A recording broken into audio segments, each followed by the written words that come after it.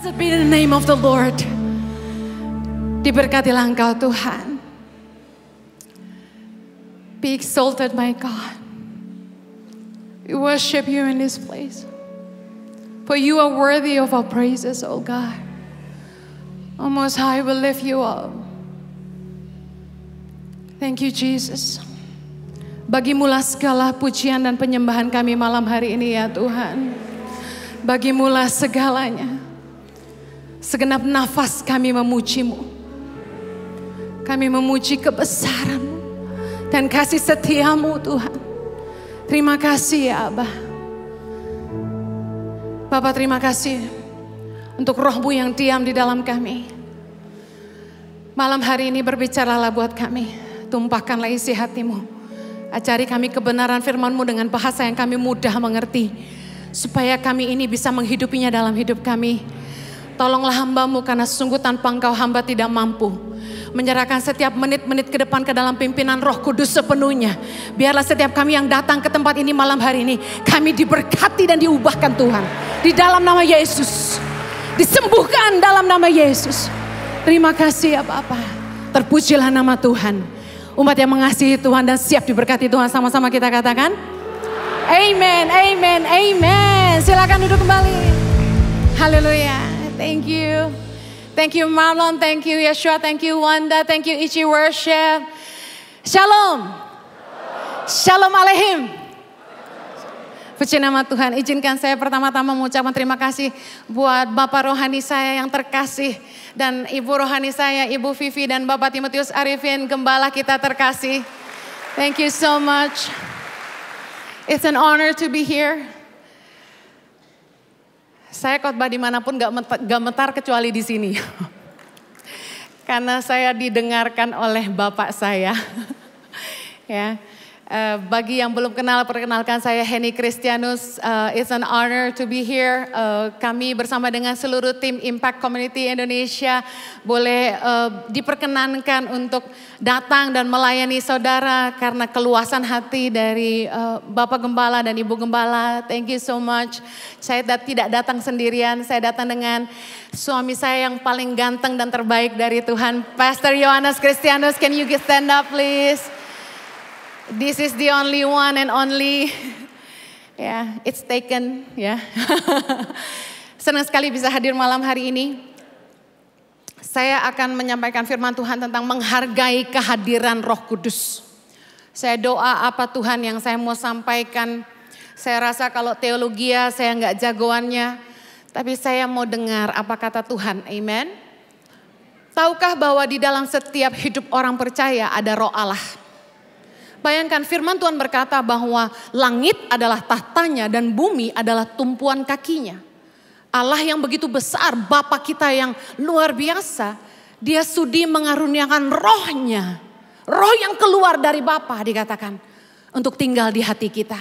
Mari kita lihat firman Tuhan sama-sama dalam 1 Korintus 12 ayat 3b dikatakan gini, karena itu aku mau meyakinkan kamu bahwa tidak ada seorang pun yang dapat mengaku Yesus adalah Tuhan selain oleh Roh Kudus. Katakan amin.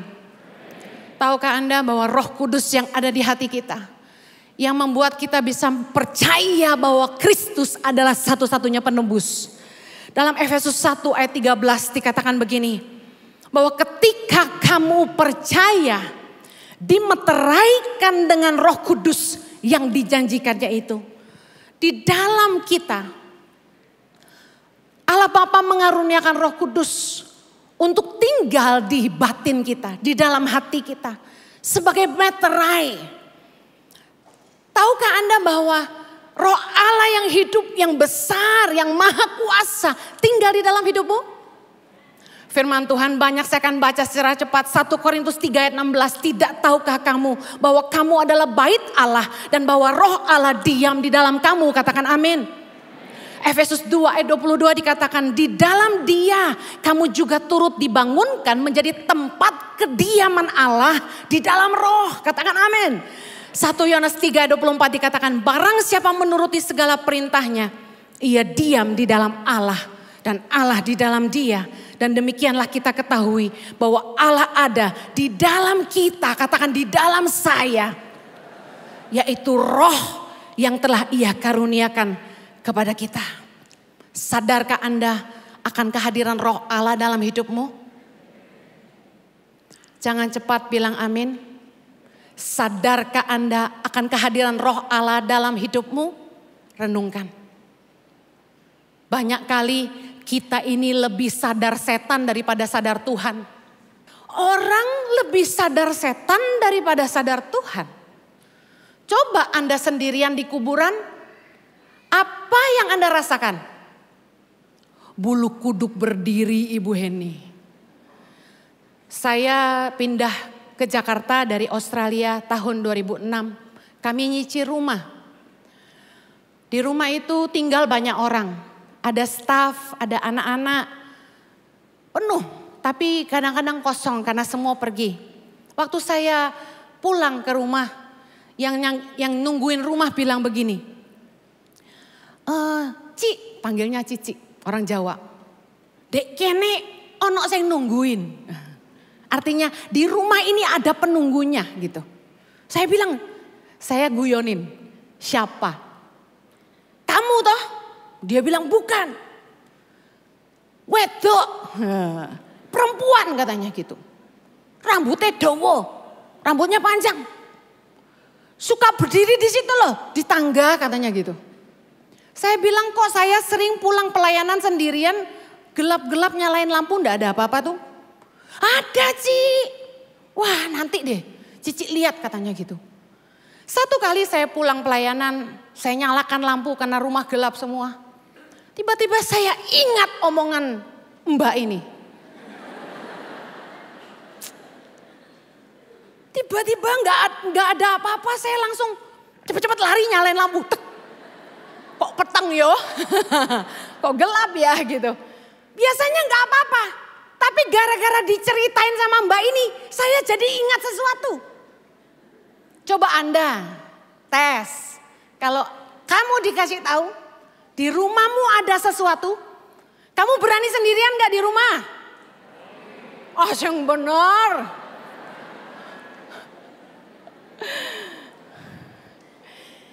Kami itu punya gereja, gereja parkiran kami dipaksa Tuhan dalam tanda kutip punya jemaat setelah pandemi. Orang-orang yang kami layani online bilang gini, Ci, kowe mau buka gereja enggak? Kamu mau buka gereja enggak? Kalau enggak kita pulang loh ke gereja kita masing-masing. Dia bilang gitu. Saya bilang pulang aja. saya kan pengkhotbah, saya bilang saya khotbah. Enggak lah, ayolah buka gereja. Akhirnya kami karena dana terbatas tapi iman kita unlimited. Amin kita sewa parkiran MOI, Mall of Indonesia. Kalau ke Kelapa Gading mampir ya. Nah itu sudah jadi gereja Bapak Ibu. Tidak terlalu besar lah. Kapasitas duduk 1100 lah kurang lebih. Puji Tuhan. Ya puji Tuhan. Sederhana saja, tidak mewah. Nah satu kali saya diceritain. Ci, gereja kita tuh ada setannya gitu. Ini ada-ada aja memang manusia-manusia ini. Ini yang ngomong ini full timer loh ini. Pak Jojo tolong baptis ulang. Saya bilang ada setan di mana? Itu loh Ci, kalau kita mau masuk ke pintu kantor kan ada screening wajah. Ya kan? Kan biasa sidik jari, ini screening wajah. Itu bisa bunyi-bunyi sendiri Ci, katanya gitu. Saya bilang karena itu error. Gak ada yang lewat dia bunyi. Bener Ci bunyi. Saya bilang kalau itu setan-setan itu gak mantul di cermin. Gak mungkin. Dia bilang Cici gak percaya. LCD projector bisa turun sendiri Ci. Terus Ci ada cakar. Ada cakaran. Saya bilang gini, sini LCD projectornya. Buktikan di depan saya mana cakarannya. Sampai hari ini mereka tidak berani bawa kalau orang suka bilang lihat setan, jangan-jangan roh itu di dalam dia. Pantulannya. Saya tidak pernah lihat dan tidak mau lihat.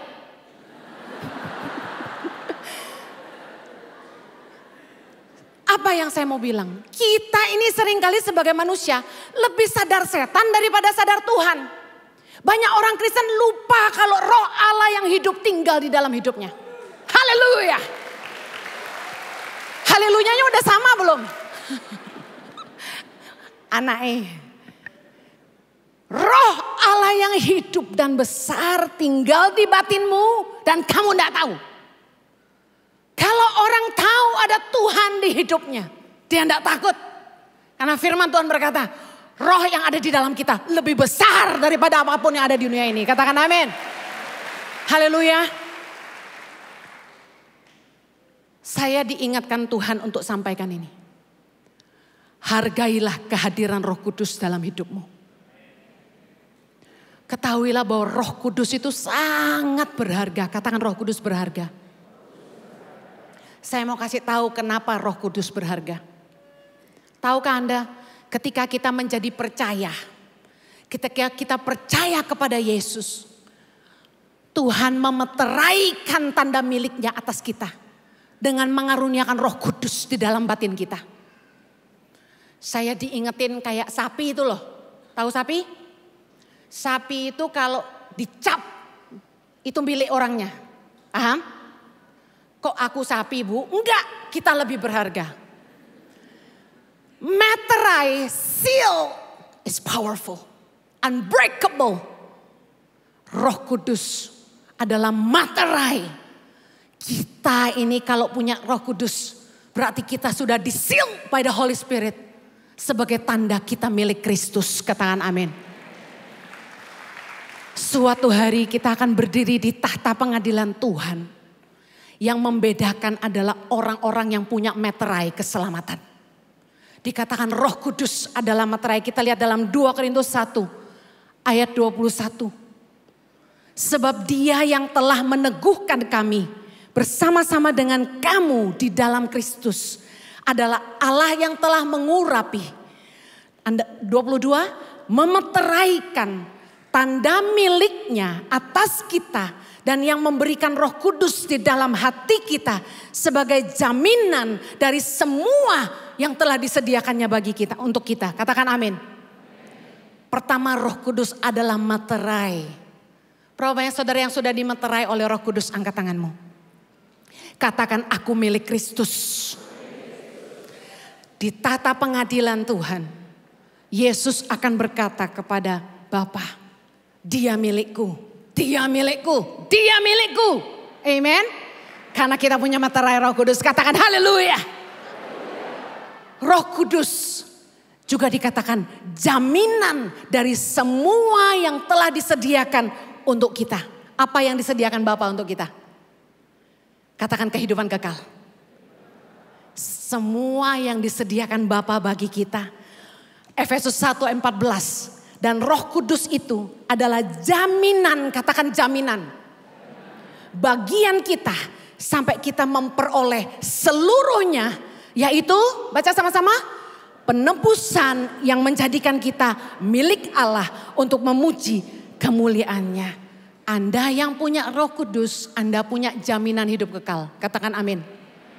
Anda punya roh kudus. Itu your guarantee for eternity. The Holy Spirit is your guarantee for eternity. Saya kebayang kalau kita itu nyicil rumah 20 tahun. Nyicil rumah tuh lama. Mungkin kita yang nyicil udah nggak ada. Nah apa jaminan buat anak-anak kita bahwa papa mamanya belikan rumah itu untuk dia? Ada sebuah warranty, ada surat perjanjian di notaris yang kita tanda tangani. Roh Kudus adalah jaminan akan janji Allah dalam hidup kita melalui Kristus. Bapak berjanji dalam Yohanes 3 ayat 16 bahwa barang siapa percaya kepadanya tidak binasa. Melainkan beroleh hidup yang kekal. Betapa berharganya roh kudus dalam hidupmu. Apakah menurut Anda hartamu lebih berharga? Above everything that we can have. The Holy Spirit is the most precious gift from the Lord. Roh Kudus adalah harta yang terindah yang Tuhan berikan dalam hidup kita orang percaya. Katakan amin. Suatu kali waktu saya masih SMA, saya sudah kenal Tuhan. Mama saya itu punya saudara yang bisa kesurupan. Waktu itu mama saya belum kenal Tuhan. Diundanglah saudara ini nginap di rumah kami. Duduk berhadapan dengan saya. Saya pikir ngapain, saya kan nggak tahu dia bisa kesurupan. Saya panggilnya Sukpo. Halo Sukpo mau makan. Tiba-tiba dia kayak kesurupan gitu kayak bayi. Terus dia mulai ambil coklat, dia makan kayak anak kecil. Ini udah tua. Dia makan itu sampai belepotan. Hmm, katanya gitu. Terus tiba-tiba mama saya duduk di sebelah saya bilang gini. Ini anak saya liatin. Katanya gitu. Saya kaget, kok suruh liatin? Saya langsung berdoa dalam bahasa roh. Saya berdoa dalam hati, tutup bungkus saya dengan kuasa darahmu. Saya berdoa, terus tiba-tiba dia bilang gini, sambil kesurupan dia bilang gini, hmm, anaknya terang. Haleluya. Dia bilang gini, jidatnya terang, jidatnya terang. Setan bisa membedakan anak Tuhan bukan anak Tuhan. Setan bisa bedakan anak terang atau anak gelap. Katakan aku anak terang. Roh Kudus adalah meterai. Sejak hari itu saya percaya orang yang punya roh kudus dalam hidupnya berbeda. Secara kasat mata jasmani kita tidak bisa lihat. Tapi secara rohani setan bisa bedain anak Tuhan atau bukan anak Tuhan. Amen. Katakan roh kudus berharga. Kalau Anda tahu bahwa roh kudus berharga, harusnya Anda jaga hidup Anda. 2 Timotius 1 ayat 14 kita lihat firman Tuhan. Sama-sama baca dengan saya. Peliharalah harta yang indah yang telah dipercayakannya kepada kita oleh roh kudus yang diam di dalam kita. Katakan roh kudus diam di dalam saya. Pesan Rasul Paulus kepada Timotius begini. Peliharalah harta yang indah yang telah dipercayakannya kepada kita. Peliharalah. Artinya Anda harus menjaga agar roh kudus itu betah tinggal di hidupmu. Kerasan tinggal di batinmu. Kalau Anda menghargai kehadiran roh kudus. Yang pertama, Anda akan jaga hati Anda baik-baik.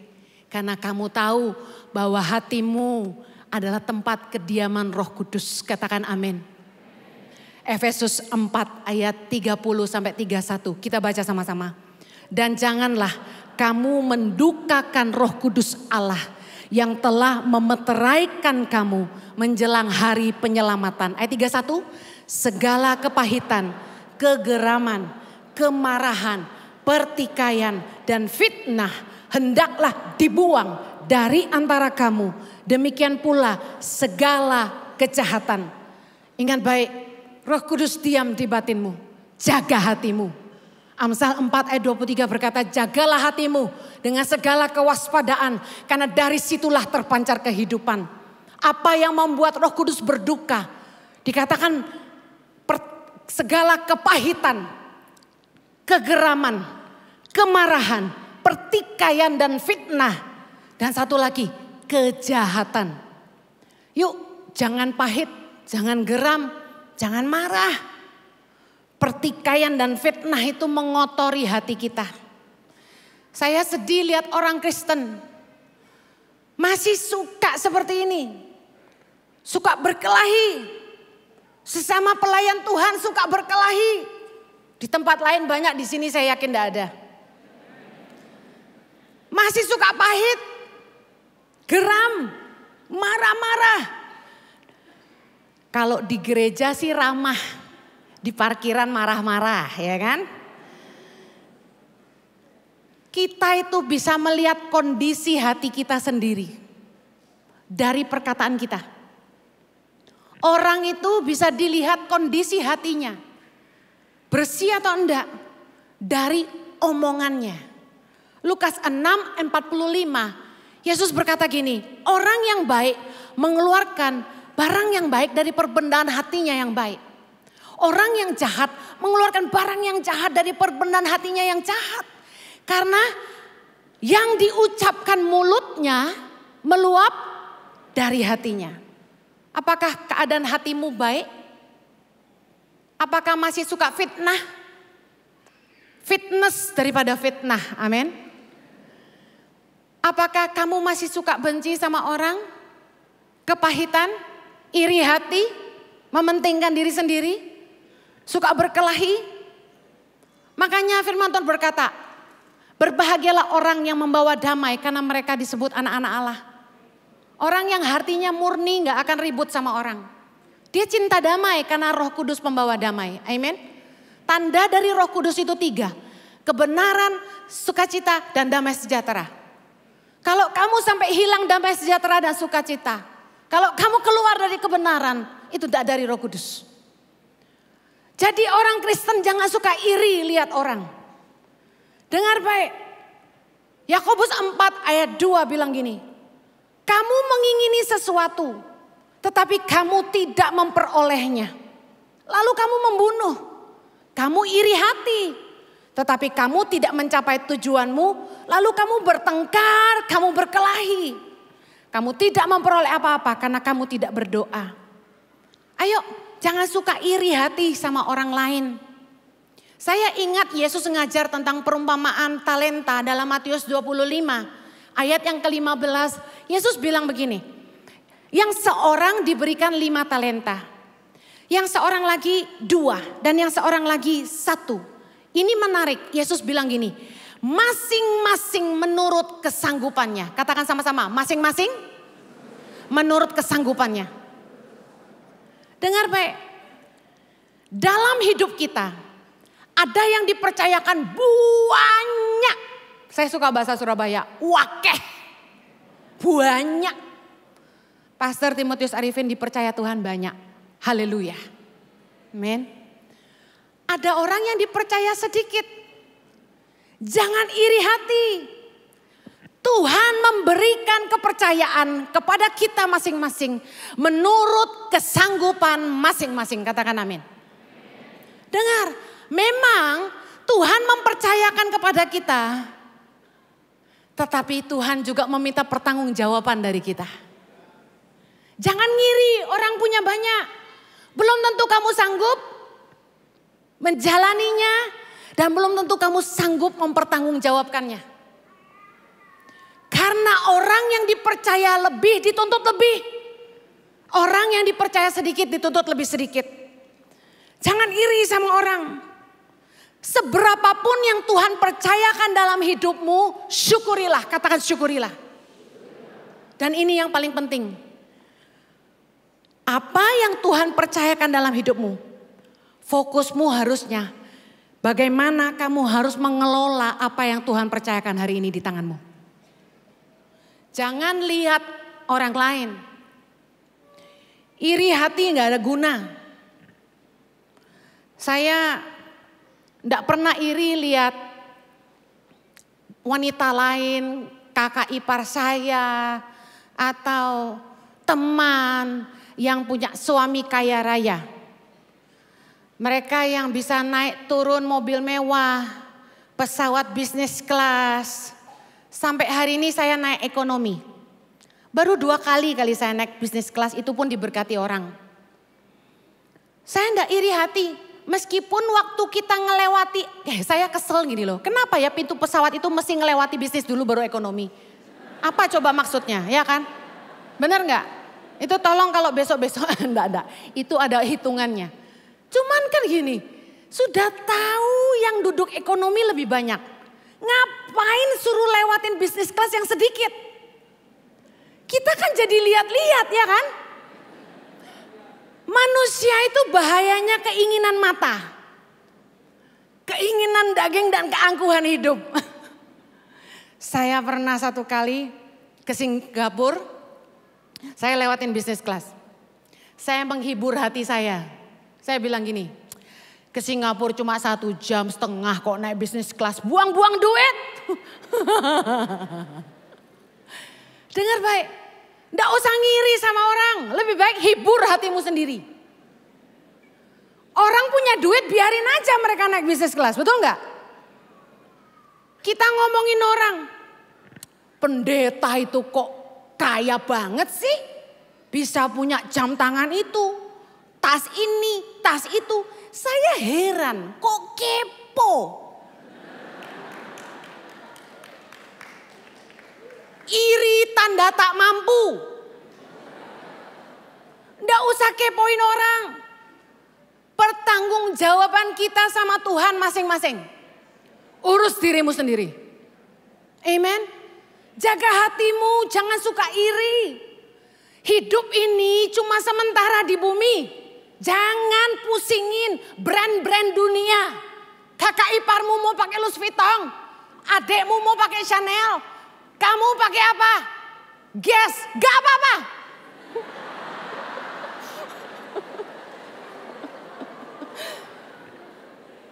Heran. Satu kali saya ingat Om Arifin bilang gini sama saya. Saya cerita sama sama Om Arifin tentang saya ini tidak pernah dibeliin Jojo berlian. Om Arifin cuma bilang gini, itu cuma batu.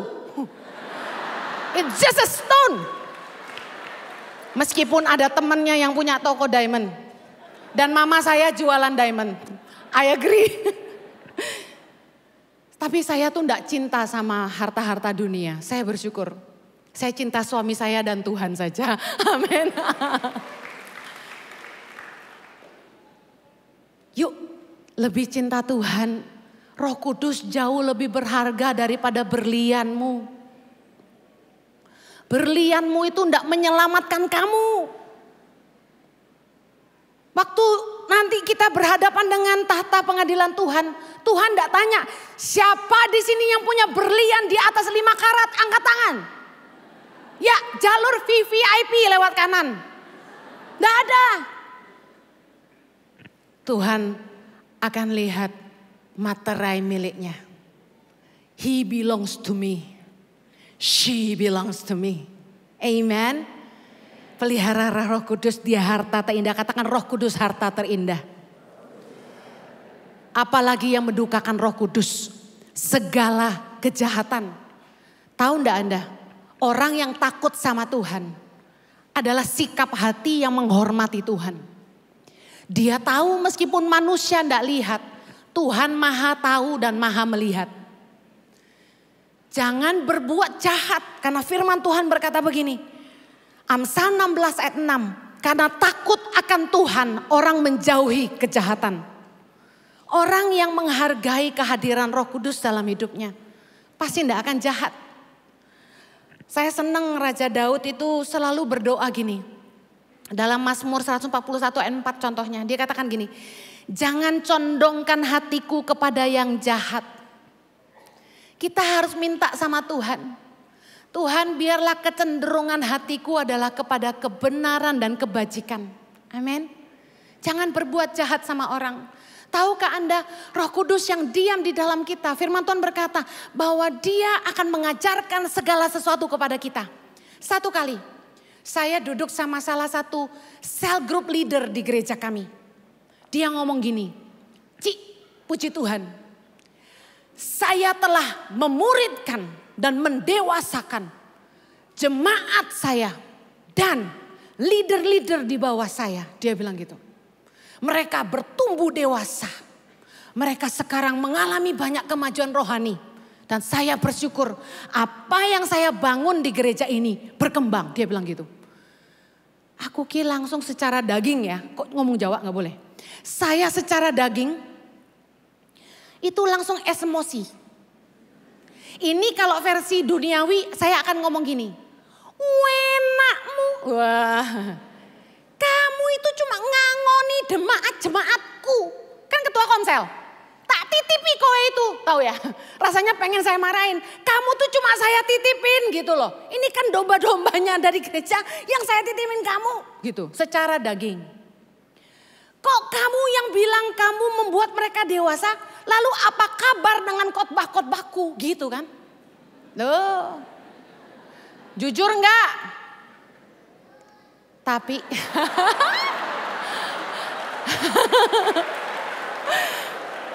I love you. Jadilah seperti anak-anak kata Tuhan. Suweneng aku. Dengar baik. Kita tuh harus jujur. Kadang kita tuh jahat. Kadang kita tuh sombong.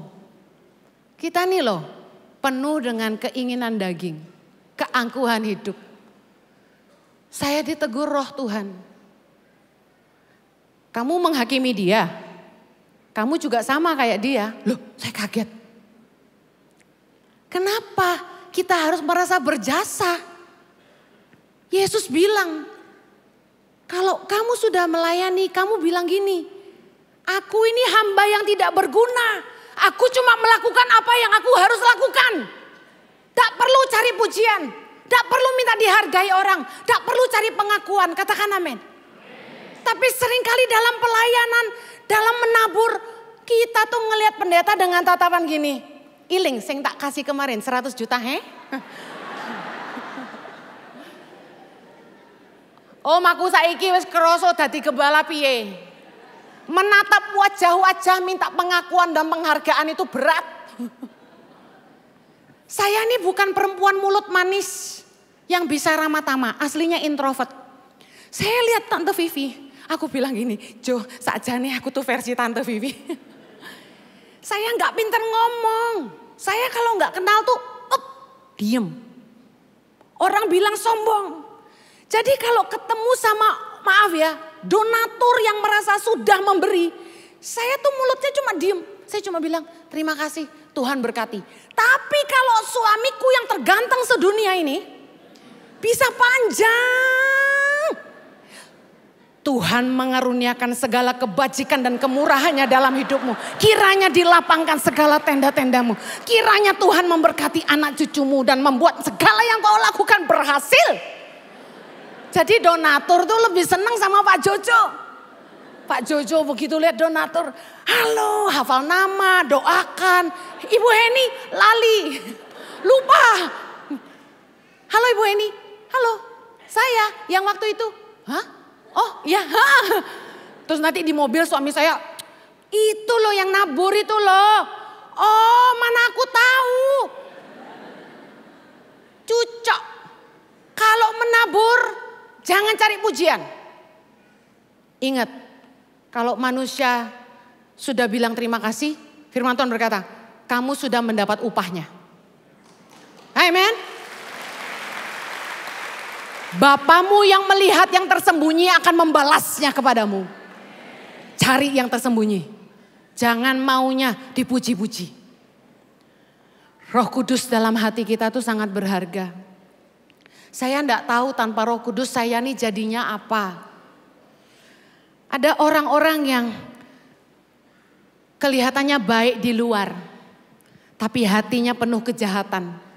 Cuma Roh Kudus yang bisa melihat itu. Mazmur 28 ayat 3 berkata gini. Janganlah menyeret aku bersama-sama dengan orang fasik ataupun dengan orang yang melakukan kejahatan, yang ramah dengan teman-temannya, tetapi hatinya penuh kejahatan. Oh, dengar baik, Anda boleh kelihatan baik di depan orang, tapi Tuhan itu Maha Tahu. Raja Daud berkata, "Dia yang menyelidiki hati kita." sampai kedalaman hatiku. Amen. Sedalamnya hatiku, kau pun tahu. Tuhan yang menyelidiki hati kita, Mazmur 117 ayat 3. Bila engkau menguji hatiku, memeriksanya pada waktu malam dan menyelidiki aku, maka engkau tidak akan menemui suatu kejahatan. Mulutku tidak terlanjur. Ayo selidiki malam ini. Hatimu bersih enggak? Hatimu murni ndak? Simpan kepahitan ndak? Simpan kemarahan nggak? Kebencian nggak? Kesombongan nggak? Keserakahan nggak? Iri hati nggak? Yuk pegang hati masing-masing bilang Tuhan selidiki hatiku. Yang terakhir, kalau kita menghargai kehadiran Roh Kudus dalam hidup kita, kita akan menjaga hidup kita kudus karena Dia Roh yang kudus. 1 Tesalonika 4 ayat yang ketujuh. Baca sama-sama saya.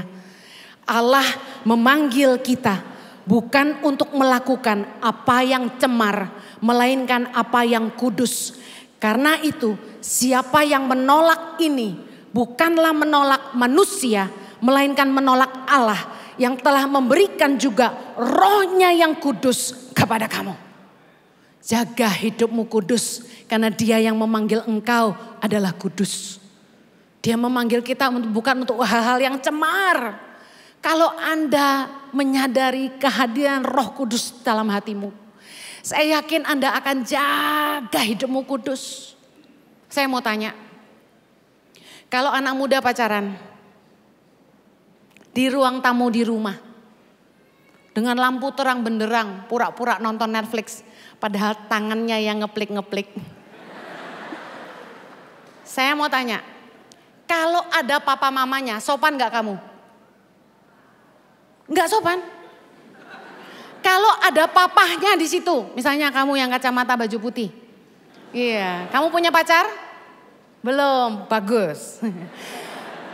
Doa dulu ya. Iya, kerja dulu ya. Iya. Kalau kamu misalnya punya pacar dengan iman, ya. Lalu kamu ke rumah perempuan itu, ada papahnya. Kamu sopan nggak kira-kira? Sopan, anak baik. Nah ini calon mantu baik teh, sopan. Tapi kalau nggak ada papahnya kamu sopan nggak? sopan juga ya. Janji loh ya sama Kak Heni. Kamu kalau punya pacar jaga kekudusan ya. Sampai nikah yang kudus ya. Amin. Saya mau kasih tahu, Kenapa orang Kristen jatuh bangun dalam dosa? Karena mereka tinggalin Tuhan di gereja. Kenapa orang Kristen bisa berbuat jahat? Karena mereka pikir Tuhan tidak lihat. Kalau kita sadar kita punya Tuhan yang maha tahu.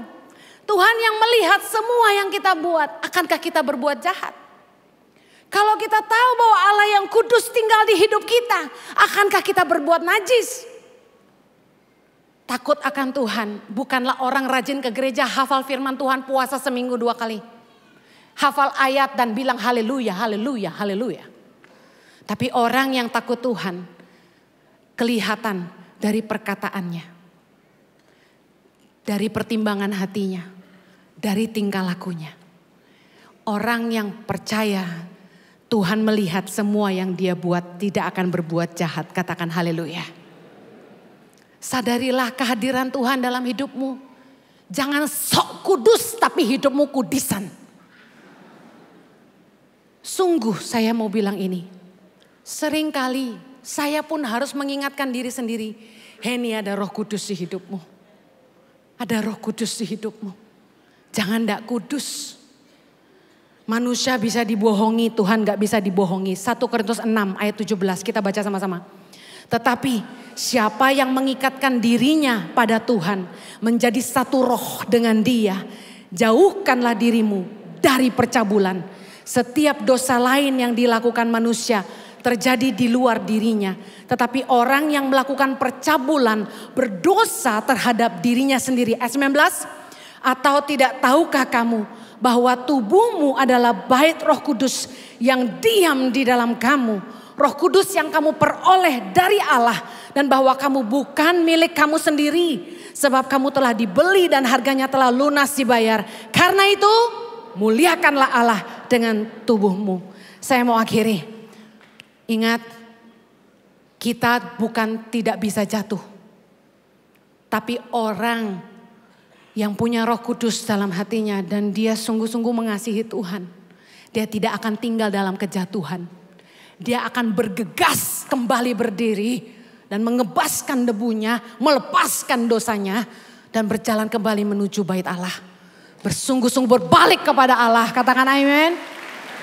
Apa pun keadaanmu malam hari ini, saya rindu Anda minta Tuhan sucikan hatiku, kuduskan hidupku. Siapakah yang boleh naik ke atas gunung Tuhan? Mereka yang bersih tangannya dan suci hatinya biar roh Allah yang tinggal dalam batinmu, kerasan tinggal di situ. Dan senantiasa mengajar kamu, menginsyafkan kau akan dosa, memimpin hidupmu. Barang siapa dipimpin oleh roh Allah adalah anak-anak Allah. Yang mau katakan amin. Saya undang Pastor Timotius Arifin. Terima kasih Tuhan.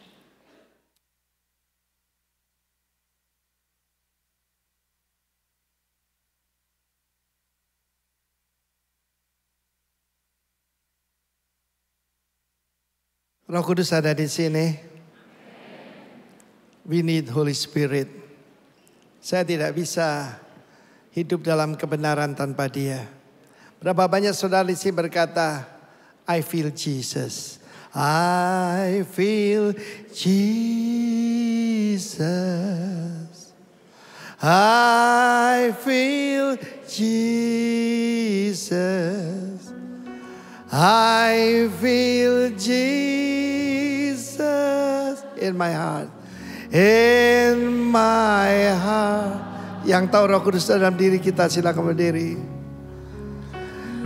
As my soul does burns within me, I feel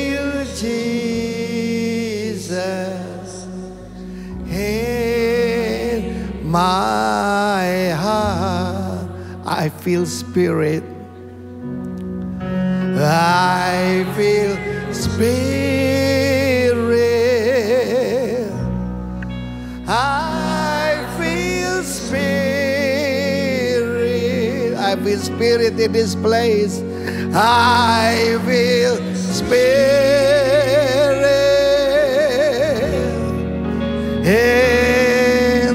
this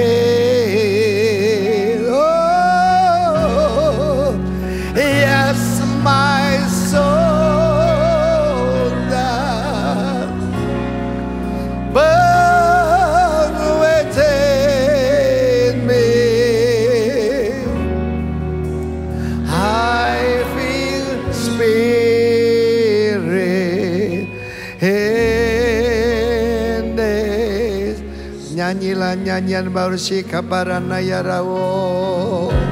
Siara lama ke ya lama ya ra. Angkat tanganmu. Minta roh kudus memenuhi kita. Kiala madeke dalam mayoro. Yang di ruangan alfa, omega, yang di belakang, di belakang atas sana. Angkat tanganmu, mari menyerah. I surrender.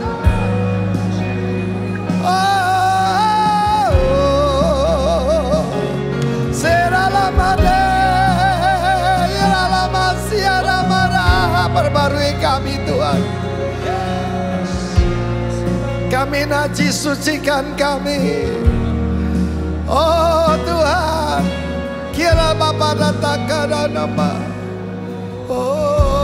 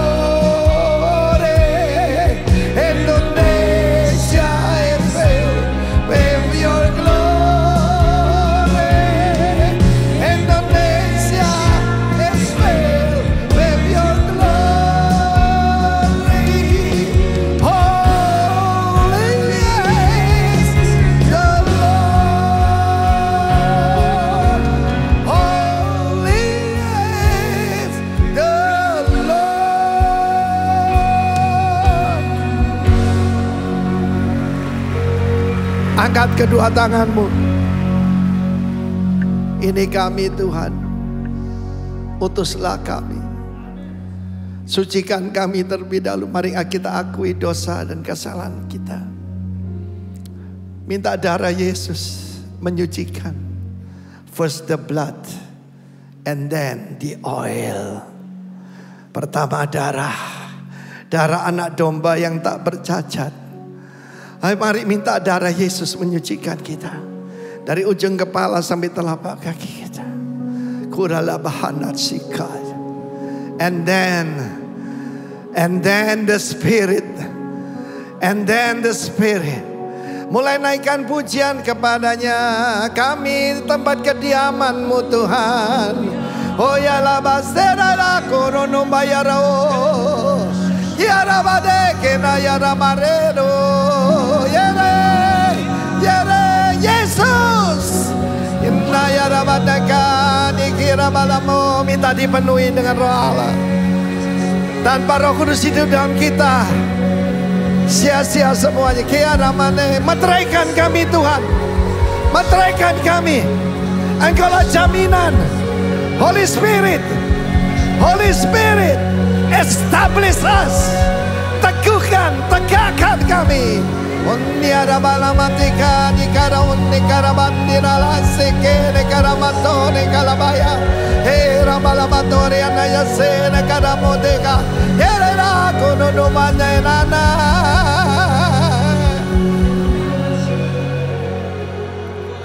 Inilah tanda kehadiran Tuhan. The spirit of prophecy. Kita sadar kehadiran Tuhan. Let us surrender. Angkat kedua tanganmu. Haleluya. Idalah baba Penuhi kami. Penuhi bejana ini. Idalah basika. Siapa mau jadi tempat kediaman Tuhan angkat kedua tanganmu.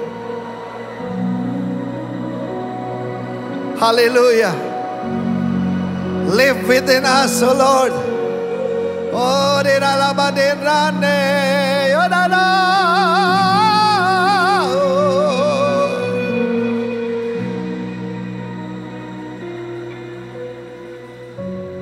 You are holy,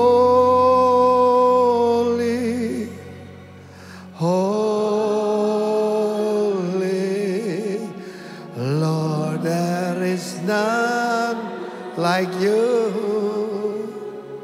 Sebutkan, you are holy, holy. Glory to you alone.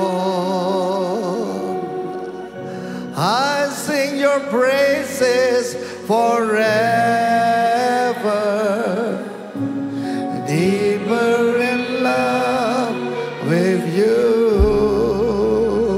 Sadari kehadiran Tuhan.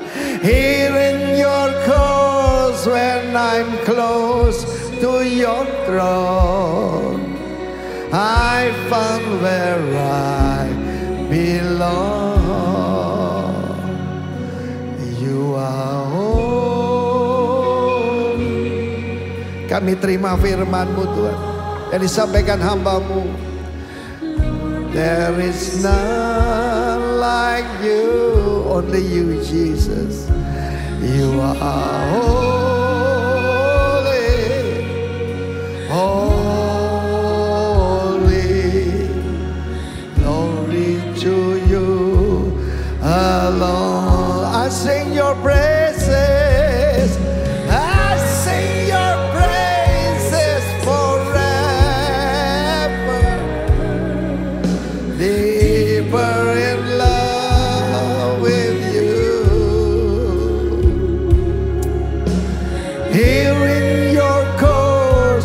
I'm close to your throne. I found where I belong. Pegang hatimu. Here in my heart, when I'm close to your throne, I found where I belong. Ini kami Tuhan. Inilah tempat kediamanmu. Engkau tinggi luhur. Bertahta di tempat yang maha mulia maha tinggi. Tetapi kepada orang inilah engkau memandang. Yang remuk dan rendah hati. Kami mengaku kami sangat membutuhkan engkau. Haleluya. Siapa di sini mau dimeteraikan jadi milik Yesus? Angkat kedua tanganmu. Bapak, kami memakili semua saudara di sini. Kami najis tapi engkau mulia. Terima kasih buat darahmu. Kami mau berkata seperti hambamu Heni. Kami mau bangkit berjalan menuju Zion. Terima kasih. Ikuti saya saudara. Tuhan Yesus. Engkaulah Rajaku. Juru selamatku Ampuni segala dosa, kesalahan, dan pelanggaranku. Jadilah juru selamat. Kami percaya engkau bangkit dari kematian. Mencurahkan roh kudus. Kami menerima engkau roh kudus. Diam di dalam kami. Kamilah baitmu. Kamilah tempat kediamanmu. Kiranya engkau suka tinggal di dalam kami. Kami berjanji, kami berjanji tidak akan mendukakan hatimu. Supaya engkau senang tinggal selamanya. Sampai kekekalan. Sampai langit yang baru dan bumi yang baru. Dan selama-lamanya. Terima kasih. Terima kasih buat hidup yang kekal yang kau berikan. Berikan tepuk tangan paling meriah bagi Yesus. Katakan haleluya. Haleluya.